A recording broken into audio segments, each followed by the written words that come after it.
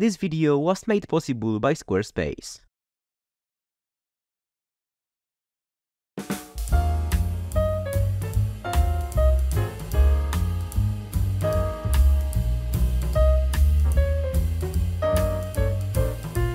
Hi guys, welcome to Amateur Chemistry. So in this video, I will be continuing the journey to make the legendary cubic molecule called cubane, or more precisely, it's 1,4-dicarboxylic acid methyl ester. If you want to know more about cubane, I highly advise you to watch the first video of this series, where I talk about it as well as its whole synthesis in detail, and in this video, I pick up right where I left off previously, and what I have to do now is brominate my cyclopentanone ethylene ketal and then make this weird looking molecule from it, which will allow me to later make my precious cubane using some really cursed chemistry. Also, in the previous video, I said that in this one I will be going all the way to this molecule, but I severely underestimated just how much work these two reactions require, so I decided that I will just focus on them and leave the other one for the next video. Anyway, for the bromination, I will of course need bromine, and I have to use a really large amount of it here, which is a little problematic, because it's really hard to produce bromine in large quantities. Fortunately, I found a method that makes this possible, and if you want to see it more in depth, I recommend you watch my video on bromine. I actually made it just because of this project, and I ended up producing around 380 grams of very pure bromine, which looks just magical. With the reagents for the bromination ready, I have to take care of the solvent, and this is where things get a bit tricky. You see, I can't just use any random solvent and I specifically have to use one called dioxane, and that's because it is the only one that works for this reaction. The reason for that is actually pretty complex, and I will explain it more in depth later, but what matters is that I need a lot of dioxane for this reaction, and it needs to be really pure. And I am not talking something like 98% pure here, the dioxane needs to be pretty much as pure as it gets, because otherwise it will completely screw up the reaction, and that means that I will have to use a really interesting purification method. But first I have to figure out how can I get my hands on it. Dioxane can be made from ethylene glycol commonly found in antifreeze, but the thing with this method is that it all just turns into tar, and the produced dioxane is really dirty, so I had to buy it from a supplier.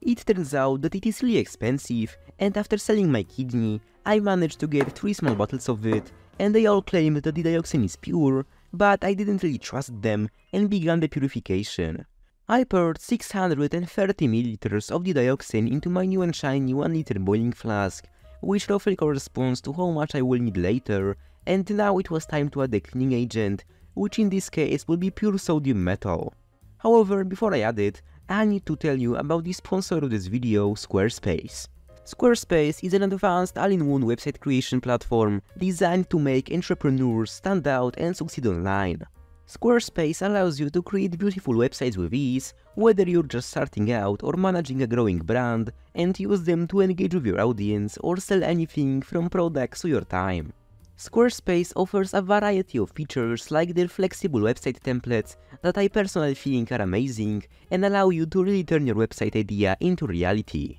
Squarespace also allows you to engage with your audience through email campaigns, which are an amazing way to drive sales and build connections. Also, their incredible blogging tools allow you to easily share stories and photos or videos with your audience, which is a really useful feature that I myself really enjoy. For a free trial, head to squarespace.com and when you're ready to launch, go to squarespace.com slash amateurchemistry to save 10% off your first purchase.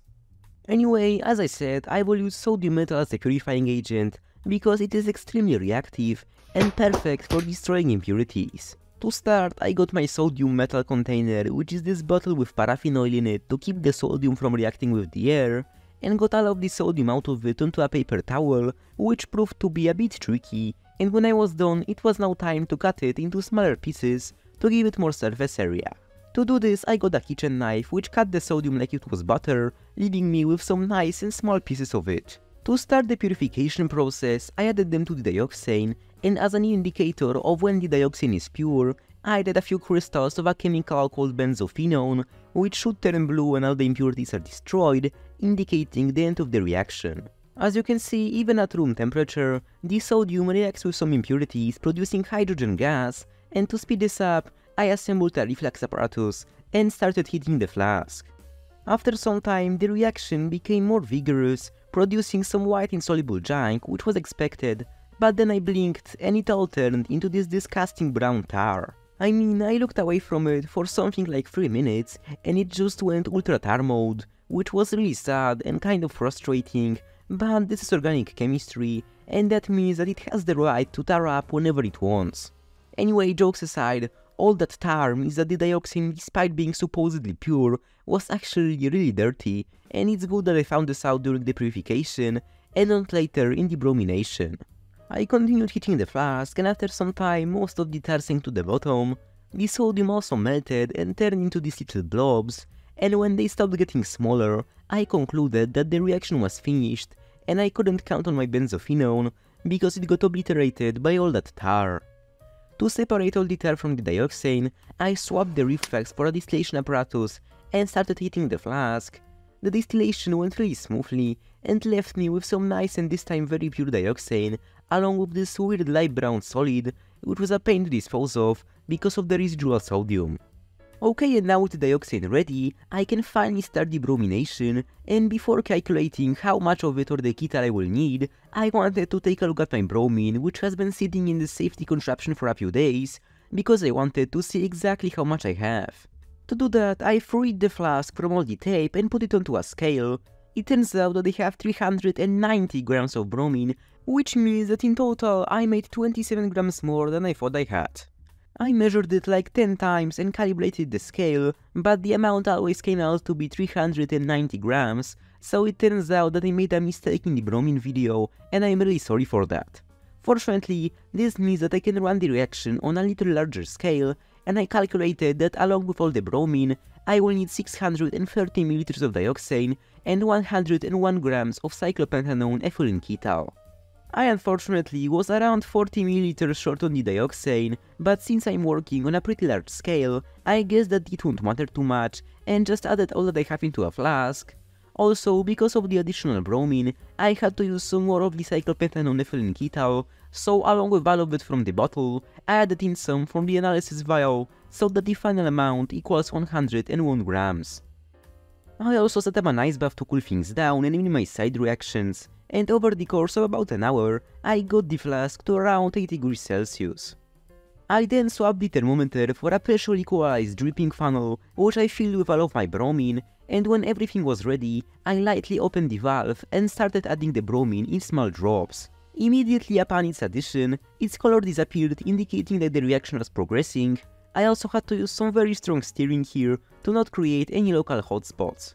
Also guys, I was doing this on New Year's Eve and I managed to capture the exact moment when the new year arrived. So happy new year everyone and I wish you that all of your experiments succeed as well as for the tar to leave you alone. Anyway, in terms of the reaction going on here, the bromine attacks the cyclopentanone ethylene ketal, brominating it and producing hydrogen bromide, which normally is a gas but it gets dissolved into the dioxane. For making the cubane, I have to brominate the ketal in 3 places, and to do that I need to use 3 equivalents of molecular bromine, so for just 101 grams of the ketal, I had to use nearly 400 grams of bromine. Also, you're probably wondering why I specifically need to use dioxane here, because there are plenty of other solvents that are cheaper and don't have a tendency to go to the tar realm.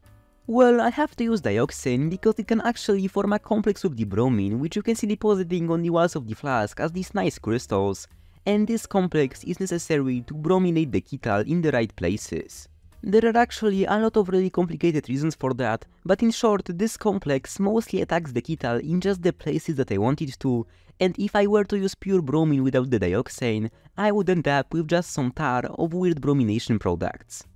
Anyway, I continued adding the bromine at such a rate that the mixture doesn't get too hot. I also didn't have a 2-necked flask to know the mixture's exact temperature, so I just kinda eyeballed it, and frequently topped up the ice bath with more ice. The dioxane bromine complex also started forming these really nice red crystals on the end of the dripping funnel, and the mixture took on a light orange color from some unreacted bromine. When there was about a third of the bromine left in the addition funnel, I sped up its addition because it was already 4am, and after about an hour, all the bromine was now in the flask, and to ensure that all of it reacts, I left this thing to stir for 2 weeks. It's not because it needs so much time, but because I had to edit the first Cubane video which ended up being way bigger than I expected, and because I went on a trip to Egypt for a week and saw the Nile River on a sunrise, which means that I actually got to see Nile Red personally, as well as wrote the script for this video on a crappy laptop in the middle of the Sahara Desert. Anyway, when I came back the reaction mix looked much lighter, which was a really good sign, and now I had to extract my product from it. I theoretically could not do it and just proceed to the next reaction straight away, but since this flask is already almost full and I don't have a bigger one, I decided that I won't risk anything and just go the safe route even if in the end I will have a worse yield. The extraction is supposed to be pretty straightforward, and all that I have to do is extract my product with diethyl ether, wash it with a lot of different things, and then distill off the solvent, but the problem is that I ran out of ether. A while ago I actually made some of it from vodka, and I still have it, but it's only a tiny amount, contaminated with some potassium hydroxide, and for the whole process I'm going to need tons of it, so I sold my other kidney and brought this giant and slightly terrifying bottle of it. Okay, so to begin the purification, I poured 400ml of a saturated sodium bicarbonate solution into a large beaker to neutralize all of the hydrogen bromide dissolved in the dioxane. On top of that, I also added 200ml of the ether to pick up my product from the dioxane and started to slowly add around a third of my reaction mixture. Immediately upon its addition, a lot of carbon dioxide bubbles were produced from the hydrogen bromide neutralization and this whole thing looked really pretty. However, this is organic chemistry, so of course everything quickly turned into red tar. I got the mixture into a separatory funnel, and the layers didn't really want to separate because they now have similar density since most of my product goes over to the ether, making it slightly denser than the water layer. After about half an hour the layers finally separated, so I joined them into separate beakers and repeated this process until no more of the mixture remained. I then repeated everything three times to process the whole bromination mix, which took forever, and I was now left with a ton of some nasty black dioxane containing water, and some not much better diethyl ether containing my product. The water still contains some of the product, and to extract it, I washed it all with some more ether, and when that was done, I combined all of the ether extracts and washed them with some saturated sodium bicarbonate solution to make sure that all of the hydrogen bromide is gone, I then washed the ether with a 10% sodium thiosulfate solution to neutralize the excess bromine, and finally, I washed everything with a saturated sodium chloride solution to dry it and pick up any water-soluble impurities. I also got rid of any remaining water using anhydrous sodium sulfate, which made the ether look like some nice and clear pee. All of these washing steps took me almost a week and occupy a whopping 25GB of space on my hard drive, and now I can finally start isolating my product. I first have to remove the solvent, so I set everything up for distillation. The ether started distilling over incredibly quickly thanks to its low boiling point, and when most of it was gone, I started collecting some dioxane, which was still there even after all the washing steps. It had a really hard time coming over, and I didn't manage to get it out to come through, but this shouldn't be a big problem, and now after disassembling the apparatus, it is time to finally crystallize out my product. It is now dissolved in the leftover dioxane, making it look like pure tar, and to get it out I got the flask into an ice bath and scraped its bottom with a thermometer, which made some very crude crystals appear, and to start cleaning them up, I added in some ethanol and heated everything up to dissolve the crystals. The ethanol, as well as a lot of other reagents for the synthesis, were supplied by an online chemistry supply shop,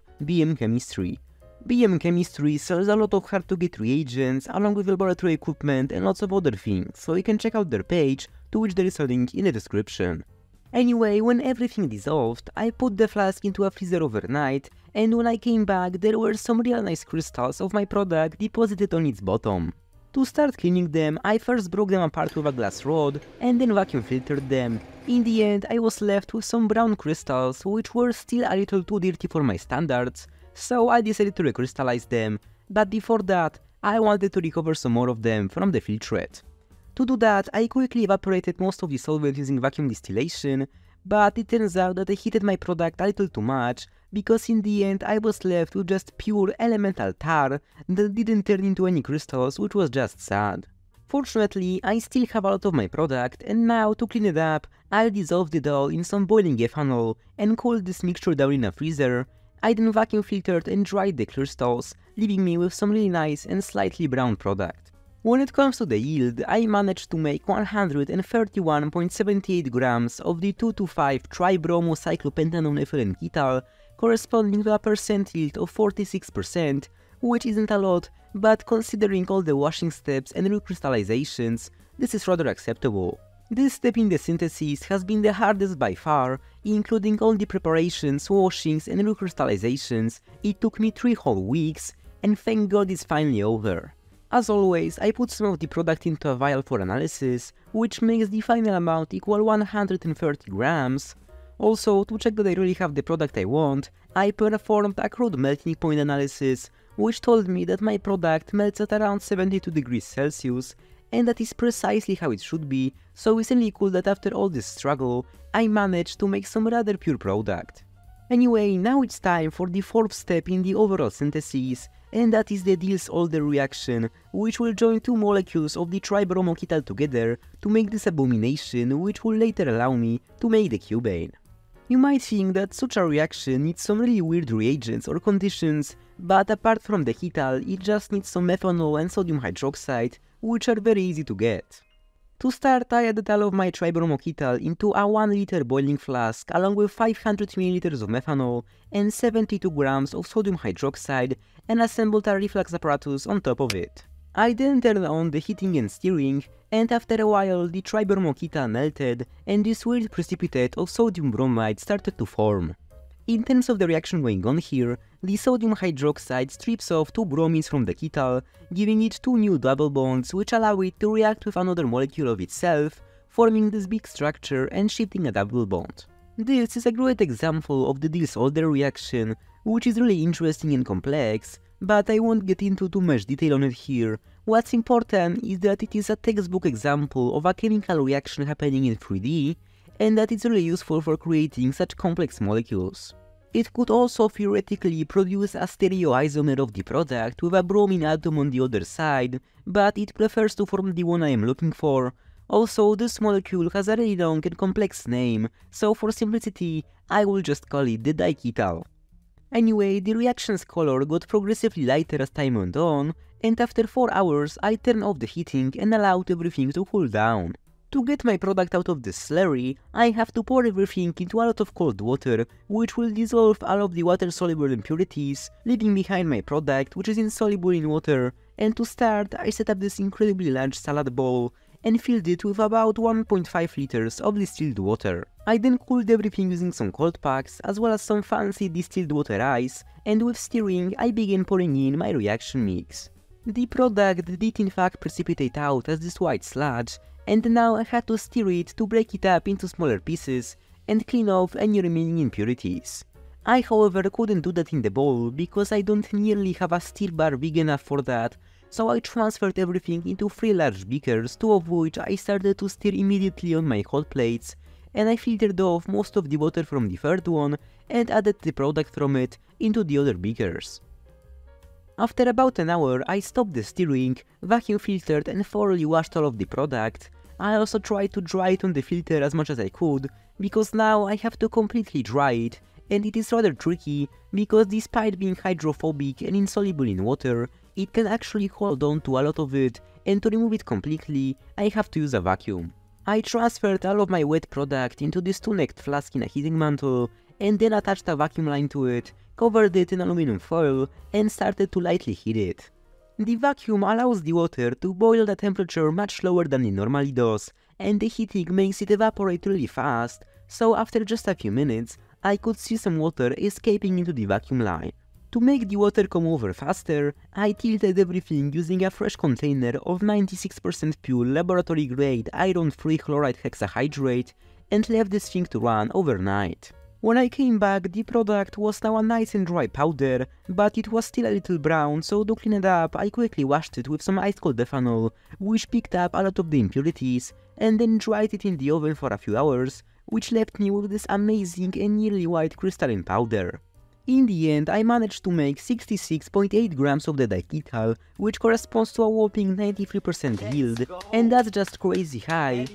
I don't remember ever getting a yield so high in any organic chemistry reaction that I have done, so this one is really amazing. It's a good break from all the tar and stuff from the bromination, and overall this reaction was one of the most pleasant from the synthesis so far. As always, I got some of the product into a vial for analysis, leaving me with exactly 66 grams to use for the next reaction, but as I said in the beginning, it will happen in the next video. Okay, so thank you all very much for watching and sticking around to see all the star and me slowly making my way through the cubane synthesis. I hope that you enjoyed this video, and if you did, you can leave a like and subscribe to my channel. Also, stay tuned for the next one in the series, because there will be some rather interesting stuff going on in it, also, as always, big thanks go to my Patreons. Thank you very much for all your support and making crazy projects like this possible. If someone would also want to support my work and gain access to exclusive content, you can consider becoming a Patreon, and see you guys in the next video.